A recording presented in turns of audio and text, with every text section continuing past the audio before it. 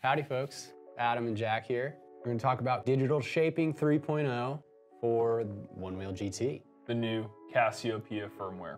Basically with Cassiopeia firmware and digital shaping 3.0, everything has been changed, everything has been updated. So there's definitely some carry forward from what we've done in the past, Yeah. but there's also some things that have uh, that are different. So let's start off with the the first shaping that everybody would encounter on Right. Onewheel GT, which is Bay.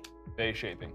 First thing that I noticed about Bay and that you might notice as well is that you hit pushback very quickly. It's a digital shaping setting that I would recommend riding in if you haven't ridden a one wheel before. Uh, if you want to get an understanding of what pushback is, Yep. that's a really good way to do it. Super important. Understand, feel that pushback, understand what the board is telling you. Um, that's just meat and potatoes, uh, one wheel riding. So, Bay, a good way to do that. I would say Roam is a solid intermediate digital shaping setting. It's a pretty like Goldilocks, you know, in the in the middle. It's not too loose, it's not too tight. Uh, it gives you some more headway on top speed. Roam is gonna be perfect for people to gain that confidence Sure. into going on to the other shapings. Moving on to Flow. Flow is a completely new digital shaping setting. There is no comparison in past digital shaping iterations. Flow, as the name indicates, is a really loose, fluid digital shaping setting. It is designed to feel like riding on water or on powder or snow. hmm I would say flow equals fun. Flow gives you that opportunity to really do like tight cutbacks and carves for those that want ultimate carvability and really just like kind of escaping into flow Yeah. state in a sense. You know, this is a great shaping to switch to. Highline, laser, give them the spiel.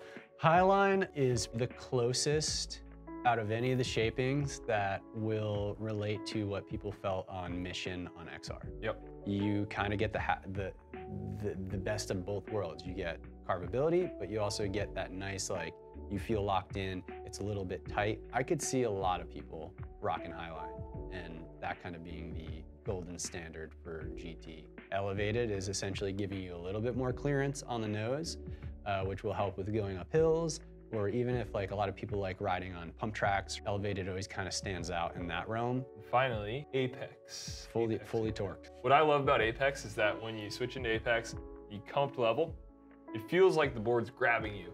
It's Yep. like. Like, and you have this moment where you're like, who is in charge here? Is it me or is it, or is it this? it's definitely taking all that this one wheel has to offer and just unleashing it. when we talk about how loose or how tight riding experience is, I think the other thing to understand is that it really depends on where you're riding as well.